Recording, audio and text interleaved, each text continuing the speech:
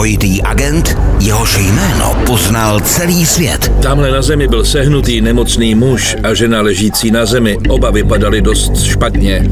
Pomyslíte si, pane bože. Kdo měl největší zájem na jeho smrti?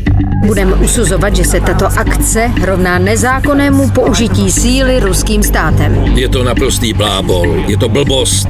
Temný svět špionáže, politiky a zločinu. Znal jména přinejmenším některých důstojníků pracujících pro sovětskou vojenskou rozvědku. Ruští špionážní atentátníci, útok v Salisbury.